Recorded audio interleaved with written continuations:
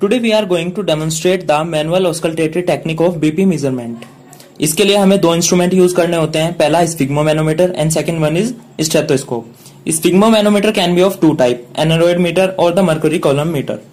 now when patient came to uh OPD or we are at home first make the patient five minute relax relax होने से वो comfortable होगा और उसका BP value normal measure हो सकेंगी। Now expose his arm and apply the cuff by wrapping around his middle third of the arm ध्यान रखना है, आपको आर्म का मिडिल थर्ड पोर्शन यूज़ करना है for the wrapping of cuff now you can estimate the tightness of cuff by using your index finger आप अपने index finger insert करके चेक कर सकते हैं tightness of the cuff it should be adequately tighten neither too much tighten nor too much loose Now, first palpate the brachial artery of the patient. Brachial artery को palpate करने के लिए हम use करेंगे the elbow line elbow line के पास हमें brachial artery मिलेगी। Now place the diaphragm of the stethoscope over this artery and you will be able to hear the sound of the pulse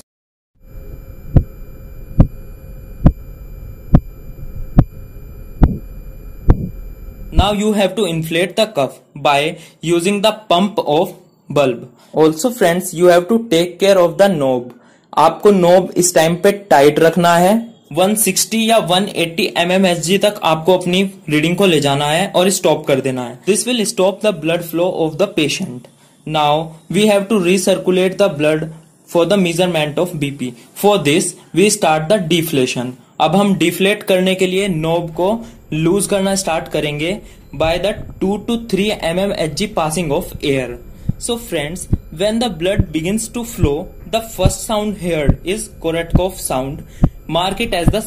BP. जी हाँ सबसे पहली जो साउंड आपको सुनती है it is the transition from the phase zero to the phase one of Korotkoff sound Korotkoff sound is divided into five levels so the first level is marked as systolic BP जो हमारा normal range होती है 120 twenty M M H G now slowly fade up of sound occur ये sound slowly slowly decrease होना start होगी। And note the point where the sound will stop जहाँ आपको sound सुननी बंद हो जाए। Mark it as the diastolic BP it's normal value is 80 M M H G so the diastolic BP resembles the phase five of Korotkoff sounds Remember one thing also that we can also use phase 4 as the diastolic BP in the patients of AV fistula and chronic or severe aortic regurgitation.